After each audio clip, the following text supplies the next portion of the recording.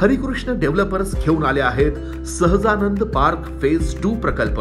संपर्क nine eight two three two seven eight one nine five.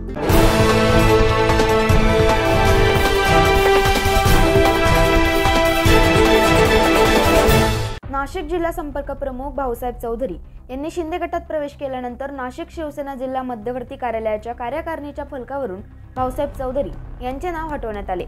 त्याच पाठोपाठ नाशिक ग्रामीण जिल्हा प्रमुख सुनील पाटील यांचे देखील नाव हटवण्यात आले. पाटील यांनी देखील शिवसेना शिंदे गटात प्रवेश केलाय. भाऊसाहेब चौधरी यांनी मुख्यमंत्री एकनाथ शिंदे यांच्या उपस्थितीत बाळासाहेबांच्या शिवसेनेत पक्षप्रवेश केलाय. उद्धव बाळासाहेब ठाकरे गटाच्या नाशिक जिल्हा संपर्क प्रमुख पदाची जबाबदारी त्यांच्यावर सोपवण्यात आली होती. मात्र त्यांनी शिंदे गटात प्रवेश केल्याने पुन्हा एकदा शिवसेना ठाकरे गटाला धक्का बसलाय. तर काही दिवसांपूर्वी नाशिक मनपा विरोधी पक्षनेते अजय बोरस्ते यांच्यासोबत दहा नगरसेवक अशा एकूण अकरा जणांनी शिंदे गटात प्रवेश केलाय. भाऊसाहेब चौधरी सुनील पाटील यांच्यासोबतच माजी विरोधी पक्षनेते अजय बोरस्ते यांचे देखील काही दिवसांपूर्वी शिवसेना मध्यवर्ती कार्यालयाच्या फलकावरून नाव हटवण्यात आले होते. Nine news Maharashtra bureau Nashik.